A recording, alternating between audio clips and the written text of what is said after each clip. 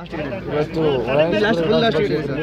ಸ್ಪರ್ಧೆ ಮಾಡ್ತಾರೆ ಇವತ್ತು ನಾನು ನಮ್ಮ ತಂದೆಯವರು ನಮ್ಮ ತಾಯಿಯವರು ಹಾಗೂ ಮನೆ ಸಂಸದರು ಪ್ರಜ್ವಲ್ ರೇವಣ್ಣವರು ನಾಲ್ಕು ಜನ ಕುಟುಂಬ ಸಮೇತರಾಗಿ ಇವತ್ತು ಇಲ್ಲಿ ಬಂದು ಮತದಾನ ಮಾಡಿದ್ವಿ. ಎಂದಿನಂತೆ ನಮ್ಮ ಪಡಿಲಿಪೆ ಗ್ರಾಮದಲ್ಲಿ ಈಗ ನಮ್ಮ ತಂದೆಯವರು ಈಗ ತಾನೇ ಹೇಳ್ತಿದ್ರು. ಅವರು ಹುಟ್ಟೂರು ಅರನಹಳ್ಳಿ ಆದರೂ ಕೂಡ ಅವರು ಇಲ್ಲಿ, ಇಲ್ಲೇ ಜಾಸ್ತಿ ಹೆಚ್ಚು ಬೆಳೆದು ಇಲ್ಲೇ ಜಾಸ್ತಿ ಅವರೊಂದು ಭಾವನೆಗಳನ್ನು ವ್ಯಕ್ತಪಡಿಸ್ಕೊಂಡಿದ್ದು ಅಂತ ಹೇಳಕ್ಕೆ ಬಯಸ್ತೇನೆ.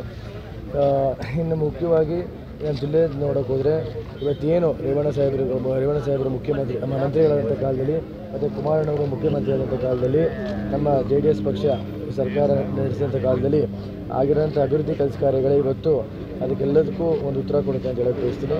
ಇವತ್ತು ಆಗಲೇ ಮನೆ ಸಂಸದರು ಹೇಳ್ತಾ ಇದ್ದರು ಎಂ ಪಿ ಕ್ಷೇತ್ರದ ಒಳಗೊಂಡಂತೆ ಕಡೂರು ಸೇರಿಸಿ ಎಂಟಕ್ಕೆ ಎಂಟು ಕ್ಷೇತ್ರಗಳಲ್ಲೂ ಕೂಡ ಜೆ ಡಿ ಎಸ್ ಪಕ್ಷ ಅದು ಬಾವುಟ ಆರಿಸುತ್ತೆ ಅನ್ನೋ ವಿಶ್ವಾಸ ನಮ್ಮಲ್ಲೊಂದು ಸರ್ ವಿಶೇಷವಾಗಿ ಹೊಳನರಸೀಪುರ ಕ್ಷೇತ್ರದಲ್ಲಿ ನೀವು ತುಂಬ ಪ್ರಚಾರ ಮಾಡಿದ್ದೀರಿ ಸರ್. ಹೇಗೆ ಅನಿಸುತ್ತೆ ಈ ಸಲ ಲೀಡ್ ಏನೇ ಅನ್ಬೋದು ಪ್ರಚಾರ ಮಾಡಿದ್ವಿ ಬೇಲೂರಲ್ಲೂ ಪ್ರಚಾರ ಮಾಡಿದ್ವಿ ಸಕಲೇಶ್ಪುರ ಎತ್ತೂರು ಹಾಗೂ ಎಸ್ಲೂರು ಭಾಗದಲ್ಲೂ ಪ್ರಚಾರ ಮಾಡಿದ್ವಿ. ಇನ್ನು ಅರ್ಸಿಕರಲ್ಲಿ ಗಣಸಿ ಭಾಗದಲ್ಲಿ ವಿಶೇಷವಾಗಿ ಪ್ರಚಾರ ಮಾಡಿದ್ವಿ. ಅರಕಲ್ಗೂಡು ತಾಲೂಕಲ್ಲಿ ಅಲಿಮೈಸೂರು ಹೋಬಳಿ ವಿಶೇಷವಾಗಿ ಪ್ರ- ಪ್ರಚಾರ ಮಾಡಿದ್ವಿ. ಈಗ ಏನು ನಾವೊಬ್ಬರು ಎಂ ಎಲ್ ಸಿ ಆಗಿ ಮಾಡ್ಬೋದು ಹದಿನೈದು ದಿನದಲ್ಲಿ ನಮ್ಮ ಟೈಮ್ ಲಿಮಿಟಲ್ಲಿ ಎಷ್ಟು ಕ್ಷೇತ್ರಗಳಾಗುತ್ತೋ ಅಷ್ಟು ಕ್ಷೇತ್ರದಲ್ಲಿ ನಾವು ಕೂಡ ಚುನಾವಣಾ ಪ್ರಚಾರದಲ್ಲಿ ಭಾಗವಹಿಸಿ ನಮ್ಮ ಅಭ್ಯರ್ಥಿಗಳ ಗೆಲುವಿಗೆ ನಮ್ಮದೇ ಆದಂಥ ರೀತಿ ನಾವು ಶ್ರಮಿಸಿದ್ದೀವಿ ಅಂತ ಹೇಳೋಕ್ಕೆ ಬಯಸ್ತೀನಿ. ಇವತ್ತು ರೇವಣ್ಣ ಸಾಹೇಬರ ಕೆಲಸ ಕಾರ್ಯಗಳು ಎಲ್ಲ ತಾಲೂಕುಗಳಲ್ಲೂ ಸಾಕಷ್ಟು ಕೆಲಸಗಳು ಮಾಡಿದ್ದಾರೆ.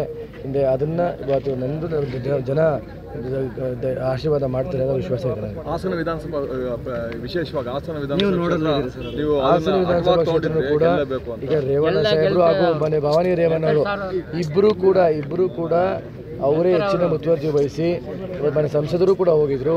ಅವರೇ ಹೆಚ್ಚಿನ ಮುತುವರ್ಜಿ ವಹಿಸಿ, ಅವರೇ ಖುದ್ದಾಗಿ ಕ್ಷೇತ್ರನ ಪ್ರಚಾರ ಮಾಡಿದ್ದಾರೆ. ಆಮೇಲೆ ಇವತ್ತು ಜನತೆಗೆ ಗೊತ್ತಿದೆ ಇವತ್ತು.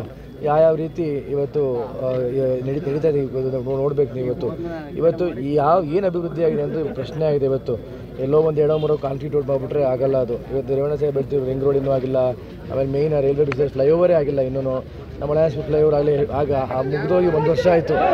ಅದರ ಹೊರತುಪಡಿಸಿ ಇವತ್ತು ಏನು ಅಭಿವೃದ್ಧಿ ಮಾಡಿದ್ದಾರೆ ಅಂದರೆ ಎಪ್ಪತ್ತಕ್ಕೂ ಹೆಚ್ಚು ಬಾರ್ಗಳು. ಇವತ್ತು ನಮ್ಮ ಬರೀ ಹಾಸನ ಸಿಟಿನೇ ನಮ್ಮ ಯುವಕರೆಲ್ಲ ದಾರಿ ತಪ್ಪಿ ಇನ್ನೂ ಹೆಚ್ಚಿನ ರೀತಿಯ ಅಭ್ಯಾಸಗಳನ್ನ ಕಲ್ತ್ಕೊಳ್ಳಿ ಕೆಟ್ಟ ಅಭ್ಯಾಸಗಳನ್ನ ಕಲ್ತ್ಕೊಳ್ಳೋ ರೀತಿಯಲ್ಲಿ ಎಪ್ಪತ್ತಕ್ಕೂ ಹೆಚ್ಚು ಬಾರ್ಗಳು ಈ ಈ ರೀತಿಯಾದಂಥ ಒಂದು ದುಷ್ಪರಿಣಾಮಗಳು ಬೀರಿಸುವಂಥ ನಮ್ಮ ಯುವ ಯುವ ಜನಗಳ ಮೇಲೆ ನಡೀತಾ ಇದೆ. ಇರಲಿ ಆಯಿತು ಏನು ತೊಂದರೆ ಇಲ್ಲ. ಜನನೇ ಬುದ್ಧಿ ಕಲಿಸ್ತಾರೆ ಅದು ಎಲ್ಲರೂ ಸರ್ ಒಬ್ಬ ಸಾಮಾನ್ಯ ಶಾಸಕನ ಸೋಲಿಸಲಿಕ್ಕೆ ದೇವೇಗೌಡರು ಇಡೀ ಕುಟುಂಬ ಬರಬೇಕಾಗಿತ್ತು ಅನ್ನೋ ಒಂದು ಪ್ರಶ್ನೆ ಸರ್. ಇಲ್ಲಿ ದೇವೇಗೌಡರು ಕೂಡ ಒಬ್ಬರು ಸಾಮಾನ್ಯ ಶಾಸಕರಿಗೆ ರೈತ ಸಾಮಾನ್ಯ ರೈತರ ಮಗನಾಗೆ ಅವರು ಕೂಡ ಹುಟ್ಟಿದ್ದು. ಅಲ್ವಾ? ಅವರು ಕೂಡ ಶಾಸಕರಾಗಿದ್ದು. ಅವರು ಕೂಡ ಸಂಸತ್